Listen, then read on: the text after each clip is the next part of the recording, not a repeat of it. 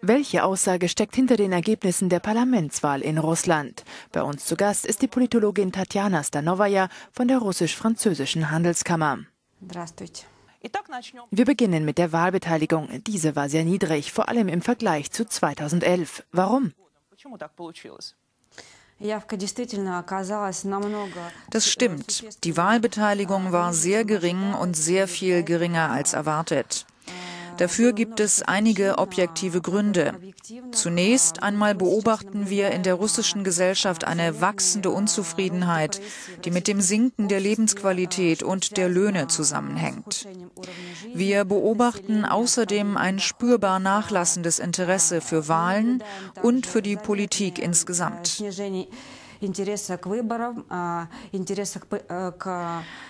Darüber hinaus gab es eine Strategie seitens der Mächtigen, um die Wahlbeteiligung nicht zu groß werden zu lassen. Über diese Fragen kann man streiten. Einige Analysten bestätigen, dass die Mächtigen Bedingungen geschaffen haben, damit die Wahlbeteiligung sinkt.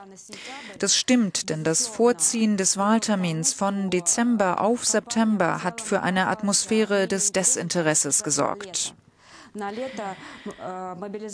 Im Sommer ist es sehr viel schwieriger, die Wähler zu mobilisieren. Deshalb war der Wahlkampf aller Parteien sehr langweilig und inhaltslos.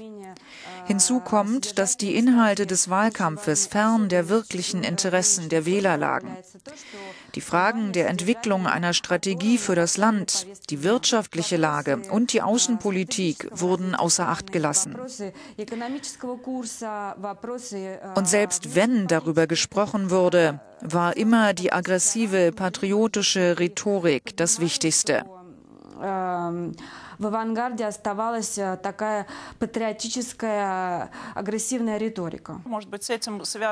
Vielleicht hängen die Wahlergebnisse damit zusammen, denn wenn man sieht, dass wieder dieselben vier Parteien im Parlament sind und sich nur die Reihenfolge geändert hat.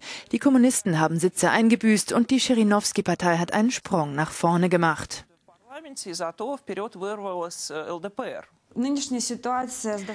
Dass die Liberaldemokraten, die Partei von Schirinowski, ein relativ gutes Ergebnis erzielt hat, hängt zweifellos mit der Situation zusammen, die vor vier Jahren begann. Nicht mit den Ereignissen 2014, der Ukraine-Krise und der Rückkehr der Krim zu Russland, sondern mit dem, was zwei Jahre zuvor begann, als Putin wieder das Präsidentenamt übernahm. Von da an wurde aktiv mit nationalistischen Stimmungen gespielt.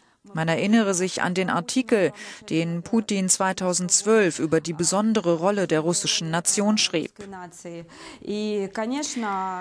In dieser Situation und angesichts der Rhetorik, die nicht seit zwei, sondern seit vier Jahren angewendet wird, ist die Schirinowski-Partei salonfähig geworden.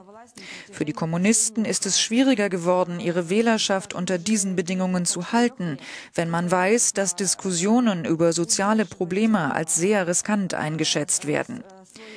Die Mächtigen wollen diese Diskussion nicht. Selbst die anderen Parlamentsparteien spielen dieses Spiel mit.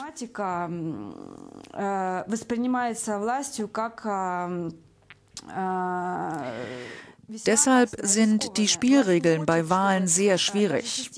Doch die Opposition hat sie akzeptiert, um zumindest in gleichbleibender Stärke im Parlament vertreten zu sein. Man sieht, dass diese Strategie nicht aufgegangen ist. Denn die drei Parteien haben Einfluss im neuen Parlament verloren. Die Regierungspartei hat eine Dreiviertelmehrheit erreicht und ist nicht auf Partner angewiesen. будет означать существенное снижение влияния.